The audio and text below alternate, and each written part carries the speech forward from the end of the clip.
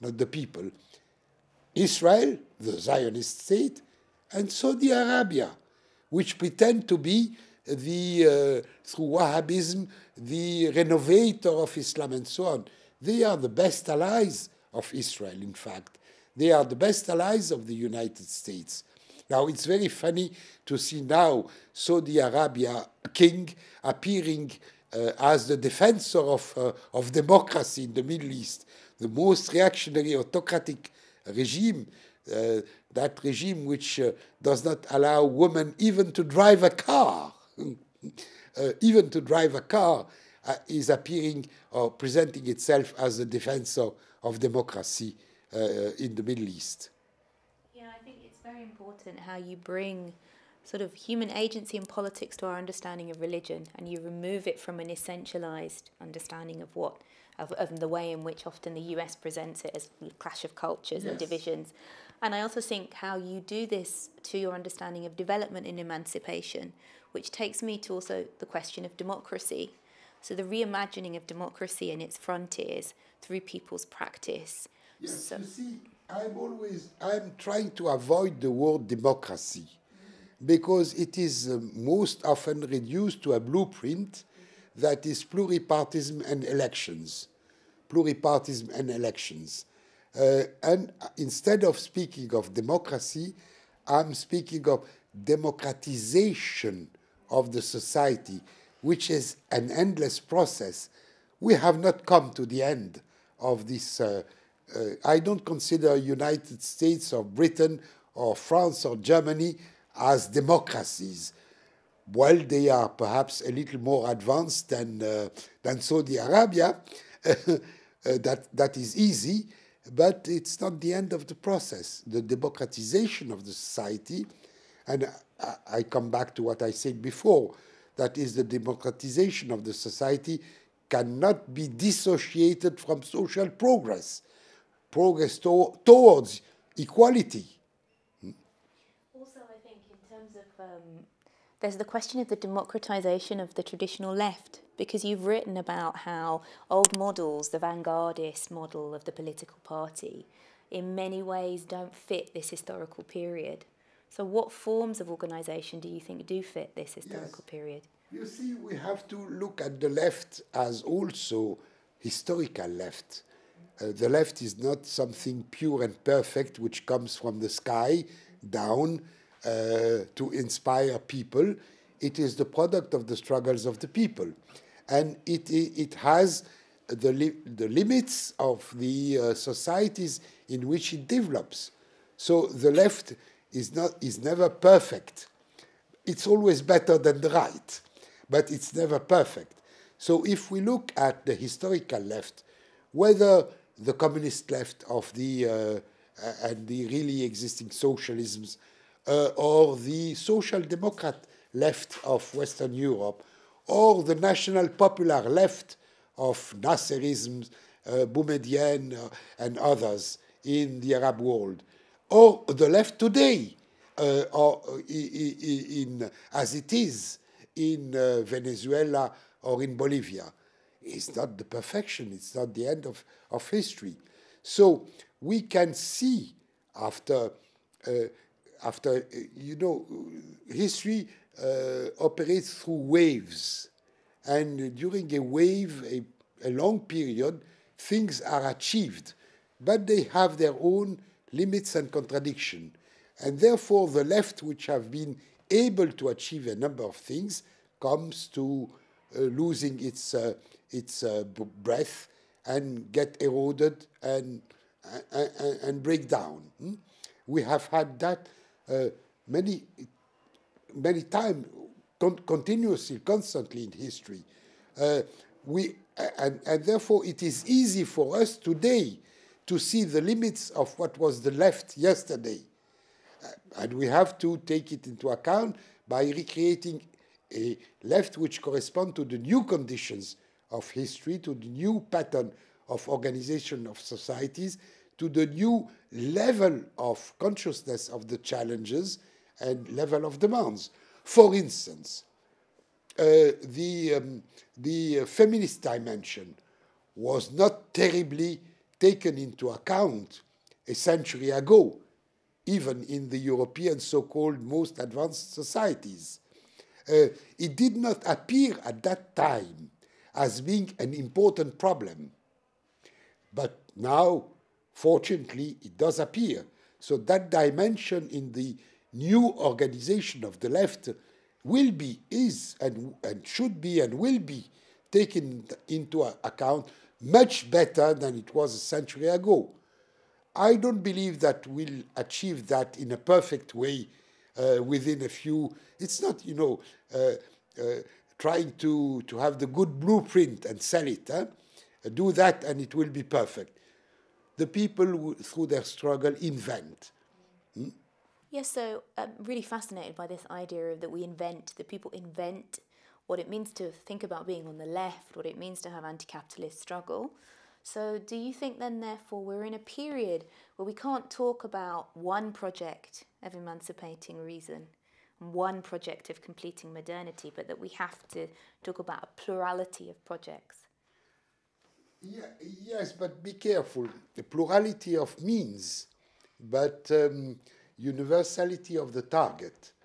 The target is the emancipation of all humankind, men and women, Europeans and Africans, uh, big and small nations, etc. The target is emancipation. It involves the emancipation of the individual and of the communities, of the collectives. Um, you see, the uh, uh, the idea that the individual has been liberated by capitalism is completely uh, wrong, has nothing to do with reality. The individual has been completely uh, subordinated to commodification, alienation, and so on. Uh, so it's a false independence of the individual. In, individual. individual is not uh, yet emancipating, emancipated but also the collectives. But the ways and means to get there uh, cannot be a blueprint similar for everybody everywhere because the objective conditions are different.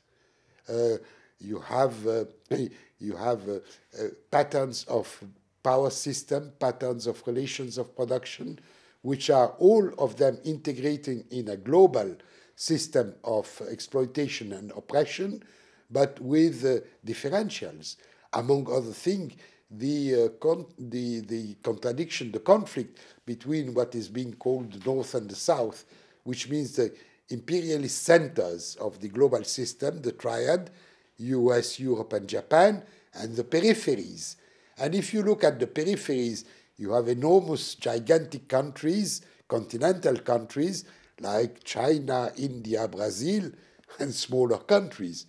Uh, and you have uh, countries which are fairly advanced in industrialization to the extent that they are competitive on a global capitalist market, like China, for instance, or to a lesser degree, uh, India or Brazil. Uh, and you have countries which have uh, hardly moved into industrialization, as the majority of countries of, uh, of, of, of, Africa, as, as a number of countries in Latin America, such as Bolivia, for instance, or Ecuador. So the, the ways and means to move in that direction cannot be a blueprint the same for everybody. And in that sense, we, uh, people being inventive means that they would they will invent, they can invent the uh, strategies which will uh, uh, allow them to move in, in that direction. But also that it, that would imply that there are, to some extent, different contents, because what it sounds like you're suggesting is a universalism in an ethical commitment to an emancipation in all levels of our lives, no, or see, not. I am universalist, but I am not Eurocentric.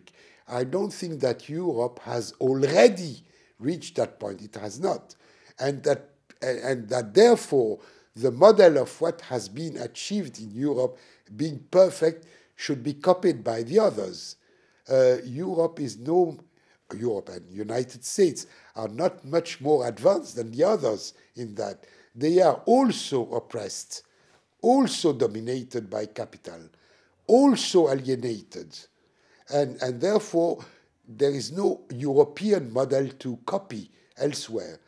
Uh, but the Europeans are human beings as the others. They are able also to invent. We, are, we have not the monopoly for the capacity to invent the future.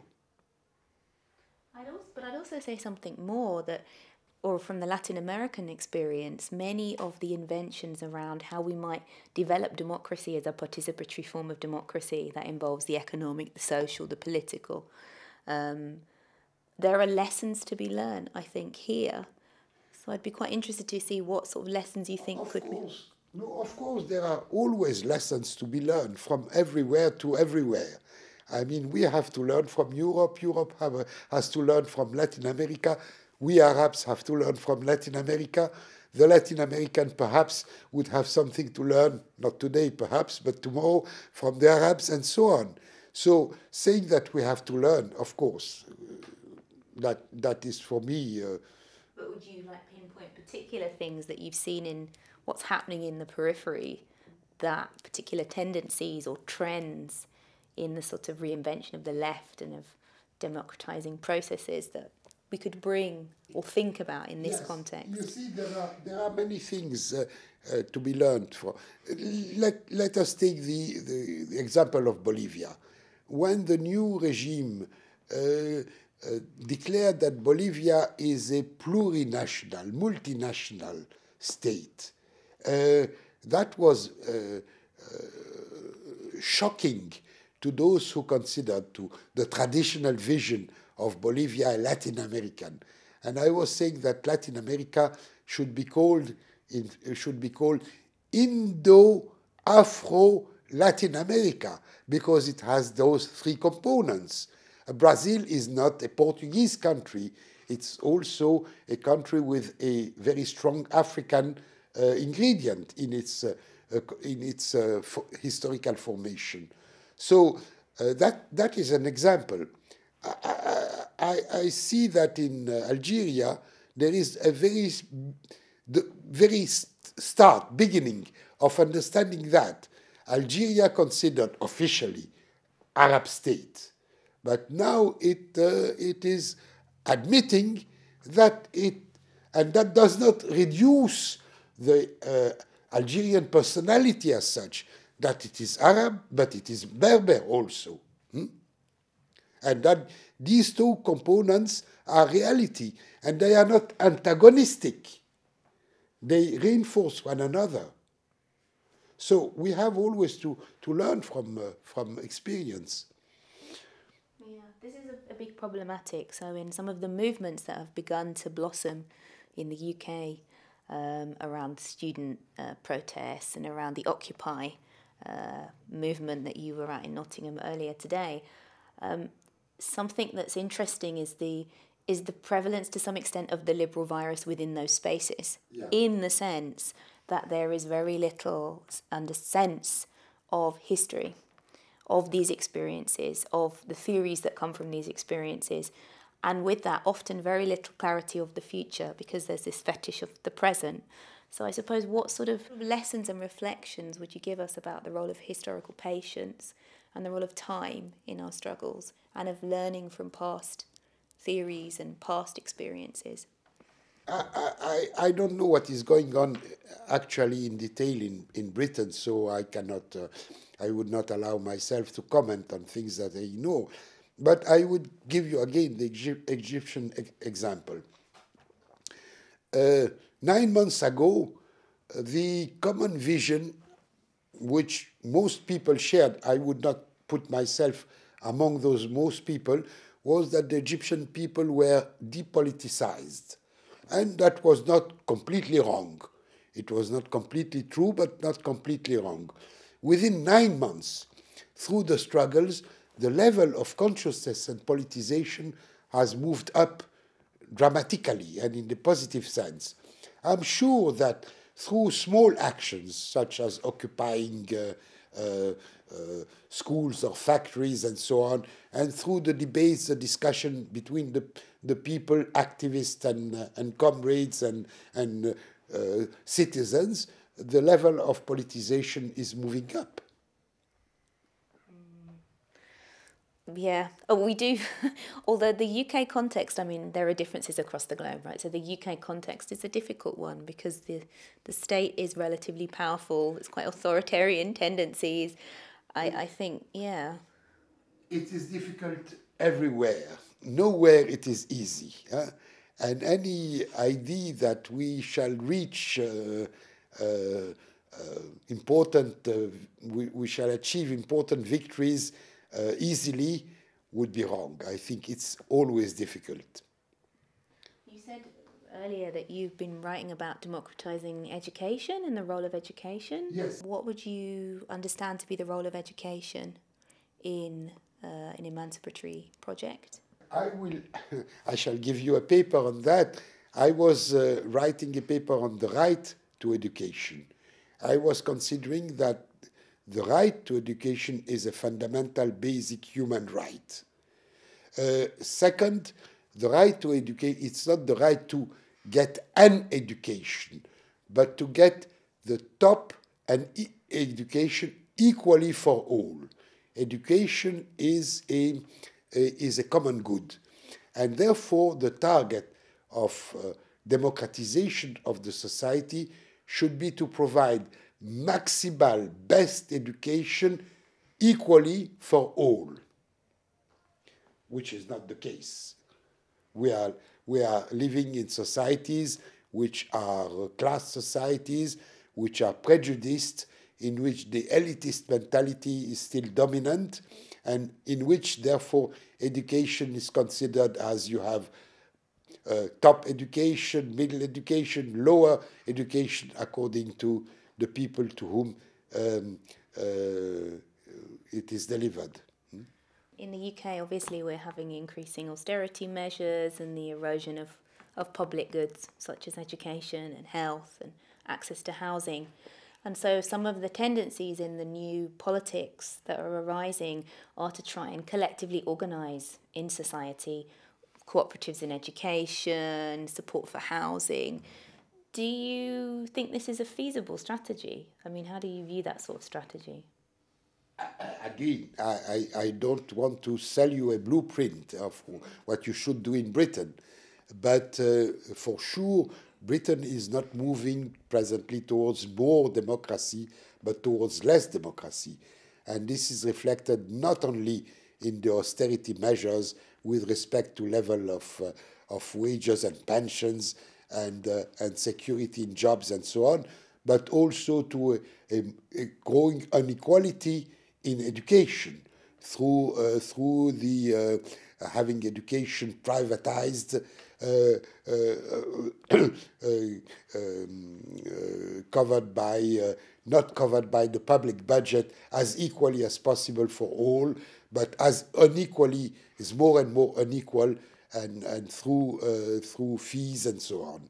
So, the, uh, but this is not particular to Britain. It is the tendency everywhere in the world today. Hmm?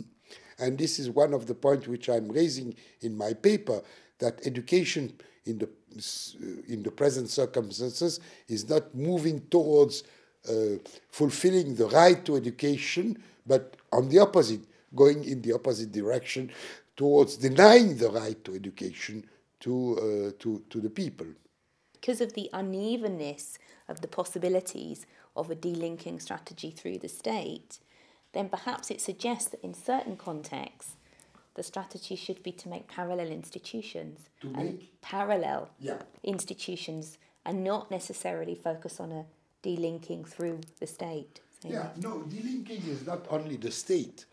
Uh, first, I would say delinking starts in the head of the people by delinking, by getting, moving away from the liberal virus, and that is uh, uh, uh becoming conscious of uh, what is needed for them uh, to, to, to, to get emancipated, and first emancipated from this liberal virus.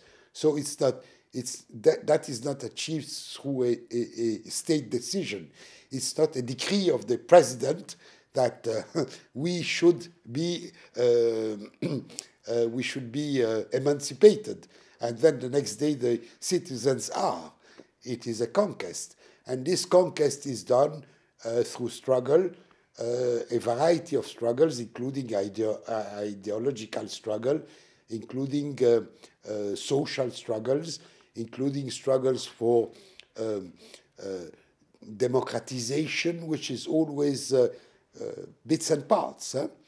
on, on, on the gender issue, on uh, some ecological issue here, on uh, another issue there, the right to, uh, to have a, security in job, etc., etc. Hmm? There's something also that is very difficult, is that often the liberal virus and sort of neoliberal globalized capital is very much about immediate gratification. Yeah. And so often one of the problems that you have in movements is that because there are not immediate results, people become very disillusioned and disappointed. So yes. would you give us any sort of thoughts on the whole idea of historical patience and time? Yes, yes. Well, it is easy for somebody of my age and uh, who is not uh, particularly poor, uh, have not, I'm not suffering of poverty, to to to ask the people to be patient, but I can understand that somebody who is uh, uh, has no home, uh, who is uh, has no job, uh, cannot be uh, patient.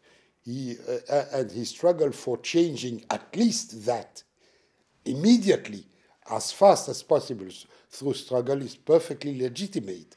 So we have to be, but we have to know also that. Um, uh, small victories are very important um, because uh, the people need to see that uh, the struggle and fighting pays. Well, the result can be very modest, but it's very good for the morale that the, the struggle pays.